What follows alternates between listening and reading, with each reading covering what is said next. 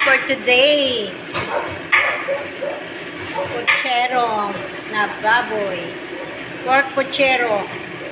Para sa mga nagdo-day ko, no? Char. Eh, napat yan ni Iggy. Ay, ano na ni, hatod na nito. Sige lang, tatubang pagkaon, mga besh. Mantadya po nga tambok. Hmm, luto na, oh. Asa man ni Dalhon, Sir Koy? Kalami, uy. Lami gining bukchoy.